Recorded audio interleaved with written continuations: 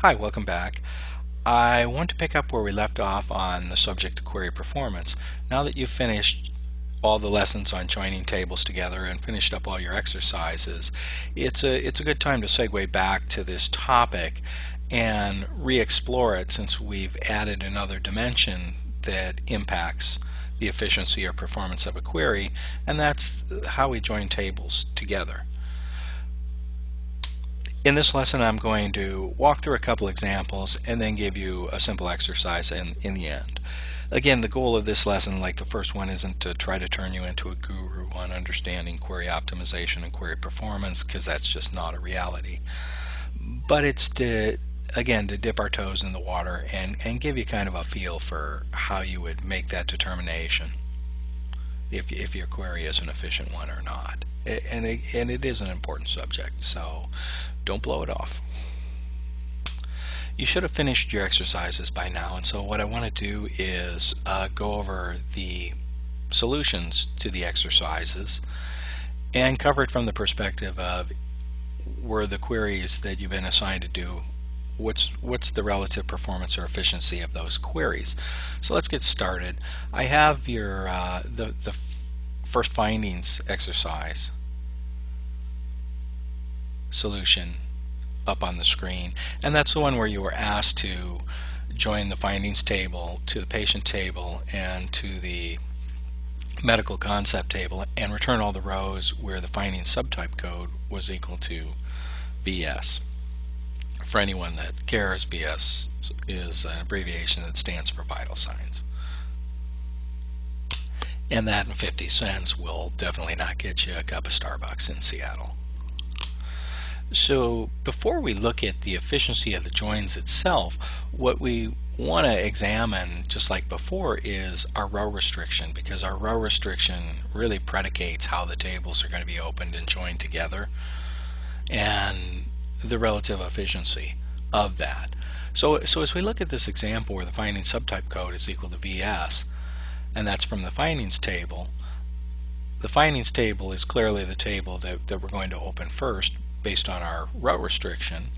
And as we look at that, we can see that it's doing a, a table scan and you can go count the rows and, and, validate that but it's doing a table scan it's not going in off of a key so that's where you have the the null marker showing here so we're definitely doing a table scan off of that and and why is that well because we don't have a key to go off of finding subtype code, an index, or it's not the primary element in the primary key.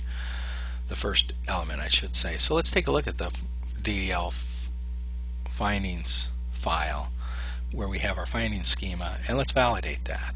If we look at that, we'll see the primary key does have the uh, finding type code in it, but not the finding subtype code. And even if it did, it's not the first column, so it's not going to help us out and we only have an index created on the service create timestamp. So we don't have a key to go in or an index. So we're doing a table scan and that's just the bottom line with this query. Now what could we do to make it a little better performing? Well, we could go and possibly get the DBA, the administration database administration group, to add a index on the finding subtype code. Whether they're willing to do that or not for a variety of reasons is altogether a different story, but that would be our option for this type of thing.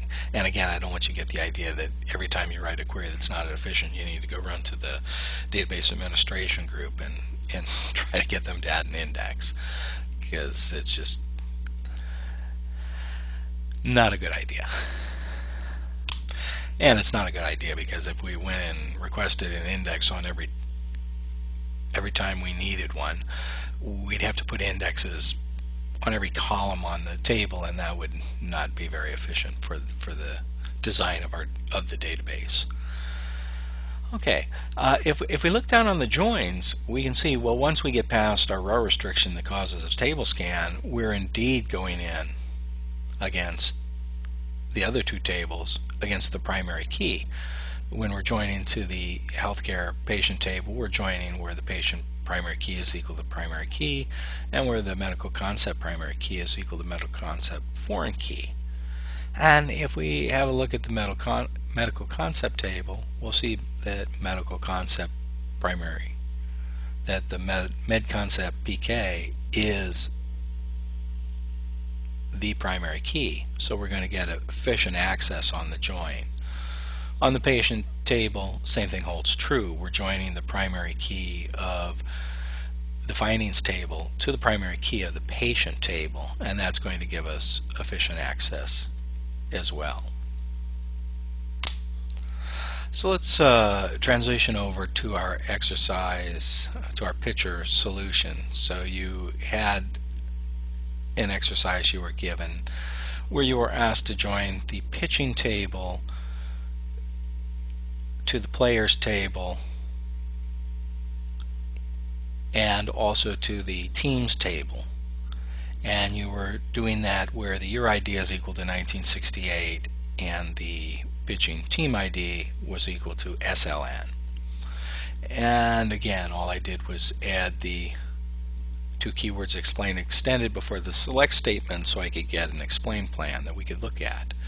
This one a little bit different. As, as we look at this one, we're actually going in and we are using an index and so our access and and if you also notice the primary key that we're opening up is we're not opening up first the pitching table we're opening up the the teams table and this is an interesting and subtle one, and it gives you kind of an idea of the, the query optimizer, which is a process in, in SQL that basically determines what's the most efficient join strategy. If we look at this one, you might expect that the pitching table would be the first one that the first table that's opened up, but that's that's not the case.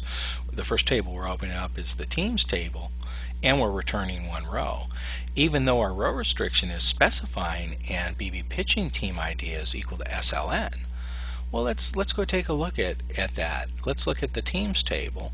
And first let's look at our join between the two. So we're joining on the, the teams table where the team ID is equal to BB pitching team ID. Well, if we go over to the pitching table, we'll see that we do have on the team ID, we have an index created. It's a non-unique index, so it can have duplicates. And if we go over and we look at the, the DDL teams database, we see that the primary key is the team ID. And so the, the query executor, as it's processing our query before it's or the query optimizer before it's going to pass it off to the query executor to run it is basically parsing and analyzing this code and saying okay here's here's the join criteria here's the row restriction. Well it makes more sense to me to open up the the teams table first because there's a join on it and it just so happens that that's the primary key of the teams table and we're only looking for the one team so very efficient access. So that's what it's going to do. Uh, the next table it's going to open up is the BB pitching. And it's going to join it and it's going to use the index team ID so there's an index.